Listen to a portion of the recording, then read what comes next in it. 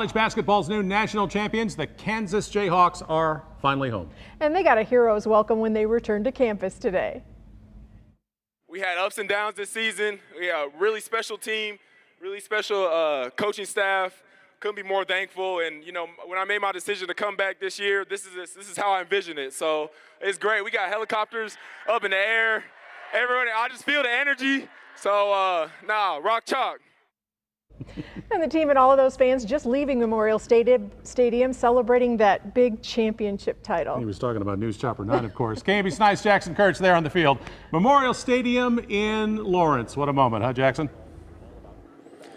It sure was. It definitely was a hero's welcome here at Memorial Stadium. There were hundreds of people here to cheer on the champions and greet them as they returned to Lawrence. They came here at about 4, 4.15, 4.20 after celebrating all night here. I know right when they opened the gates at around 3 o'clock, fans just rushed in. It was kind of similar to last night on Mass Street, right? When after they won, everybody flooded the street of Mass Street. But you had the band here, you had the cheerleaders, you had just fans just so excited to see this team a lot of folks, you know, this championship was special just for the Lawrence community, the KU community, and everybody involved to see this team go this far.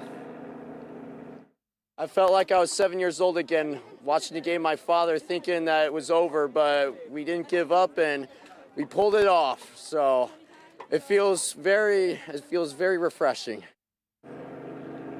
Yeah, and there was a huge sign we saw that said, never give up. A really cool thing to see, especially on this team down at half coming back.